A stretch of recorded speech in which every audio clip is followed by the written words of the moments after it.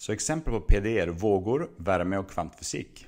Man försöker modellera en fysikalisk problemställning som en PDE eller flera med randvillkor eller initialvillkor. Man försöker separera variabler så här. Man kan använda flera avancerade metoder men vi kör på den här enkla. Man försöker lösa de här ODEna separat, bestämma separationskonstant, multiplicera upp lösningar, summera och implementera randvillkoren. De kan ställa ytterligare krav på separationskonstanten. Så här var det tre klasser från klassifikationsvideon. Hyperbolisk, parabolisk och elliptisk. För ODR behöver vi ha randvillkor eller initialvillkor. Värden här eller värden här. Men för en PD måste vi specificera en hel funktion. Vi har redan sett det för Dirichlet, värden överallt på sfären. I princip kan det vara en funktion av vinklarna. Här specificerar konstant värde för den elektriska potentialen överallt på den här sfären. Vi kan nu också ha Cauchy-villkor. Vid en initialtid så specificerar vi en funktion och en hastighet. Så vi specificerar var den här funktionen är initialt och vad hastigheten är i varje punkt. Alternativt specificerar Neumann, via derivatan, i allmänhet sätter vi inte till noll, via derivatan i randpunkterna. Så här kan vi uttrycka det mer formellt. Dirichlet betyder specificera f på randen, det här är randoperatorn av ett område omega. Och Neumann är normalderivatan är specificerad på randen. Mer konkret ser det ut så, eller specificerar vi där. Vad betyder att specificera normalderivatan? Jo, det definieras som gradienten skalärt normalvektorn. Det kan man ibland beteckna så här. Det är lite mer formellt. Det här är ju en, en, en skalär funktion. Medan det här ser ut som en vektorfunktion, men det är det inte. Det är bra att ha något i åtanke när man ser de här abstrakta posterna. Så tänk dig att det här är en vågekvation. Det här är området omega i det här intervallet. Randen av omega är den här punkten.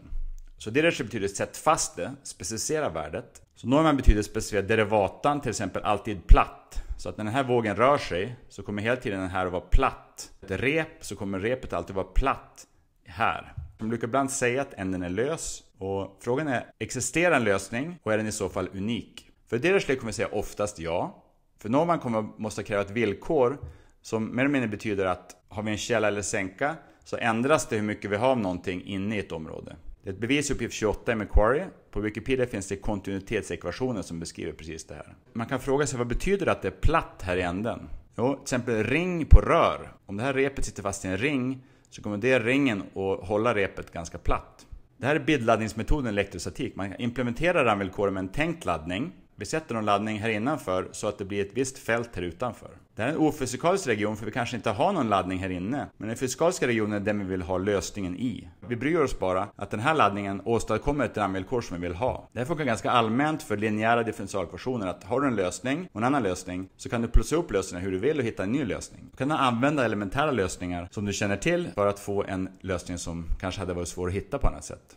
I fallet med ledande sfären i ett homogent fält så såg vi att inuti sfären så såg det ut som att vi hade två punktladdningar. Vi provade Laplace ganska mycket, nu provar vi våg. Så det är vågekvationen. Som vi argumenterade tidigare för hyperboliska ekvationer kan vi transformera dem med en linjär transformation till en sån här ekvation som har den här lösningen i en dimension den allmänna lösningen är en superposition av vågor som går åt ena hållet och vågor som går åt andra hållet. Man kan också tänka sig använda bildladdningsmetoden för den här vågekvationen. Vi dirigerar med k, vi börjar med en initial funktion så här. Så alla vågor måste bestå av höger och vänsterlöpare. Så de far iväg, träffar av kanterna, och slår igen igen, så träffar de kanten igen. Men notera att när de träffade av kanterna så bytte de håll.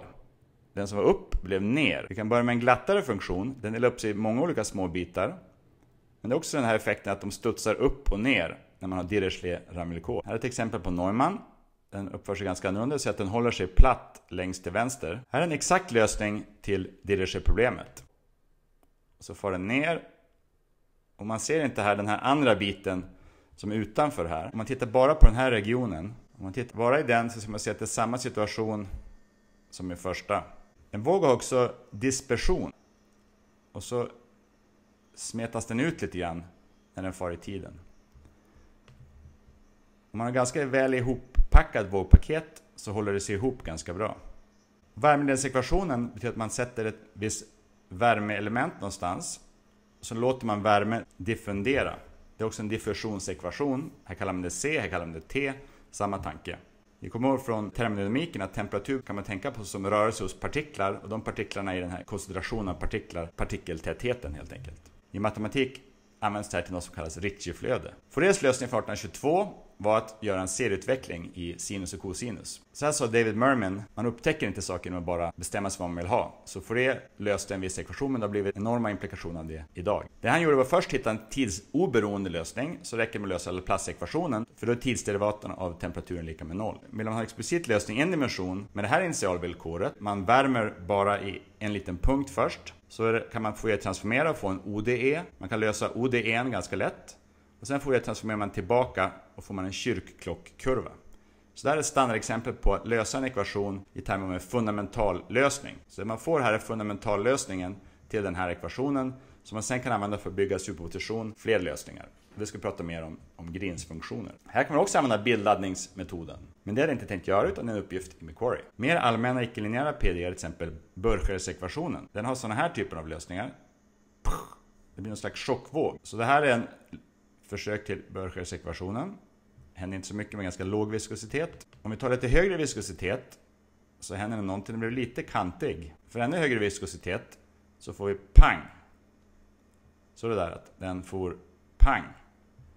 Viskositeten dämpar lite men ändå viskositet. Man kan få en exakt lösning till Burroughs-ekvationen som bara rör sig som en så kallad soliton. Det är alltså en slags vågekvation men den ser ut väldigt mycket som en värmeledningsekvation. Schrödingerekvationen är också mycket som värmeekvationen men den är komplex. Man kan lösa med en ansats, då får man tidsoberoende. Vi har många tillämpningar, till exempel magnetröntgen, när man har ett spinntillstånd som kan röra sig med en upp och ner. Man löser Schrödinger-ekvationen och får magnetröntgen. Kolla här på den här simuleringen. En stel rotor, en annan tillämpning i Schrödinger-ekvationen som kan beskriva till exempel en diatomär molekyl. Man kan räkna ut värmekapacitet, att den fryser bort vid en väldigt låg temperatur som vi har på termodynamiken. Algebraiska lösningar av Schrödinger-ekvationen likar de till värmeekvationen, det är bara någon faktor i extra. Analytiskt är de väldigt olika. För hur man går i tid är väldigt olika när man har den här faktorn i eller inte. Och dessutom är kvantmekanik strikt linjärt. Värmeledningsekvationen är också en linjär differentialekvation. Men man tänker så ofta att det finns i praktiken icke-linjära korrektioner. Men i kvantmekanik har man sökt efter sådana och inte hittat några än. Folk försöker, men hittills säger vi att kvantmekanik är strikt linjärt. Väteatomer är förstås standardexemplet och det diskuterar man mer på en annan kurs i avancerad kvantmekanik. Då kommer Laguerre-polynomen in, som vi ska nämna lite mer om sen. Vad ska stå mellan Schrödinger-ekvationen och Einsteins ekvation? Förstås kvantgravitation. Så det är en PDE eller vad det nu är, som ingen vet hur den ser ut. Så jag vill poängtera igen att en stor del av problemet i fysik är själva modelleringen, att komma på hur ska man få till en viss PDE, inte bara att lösa den.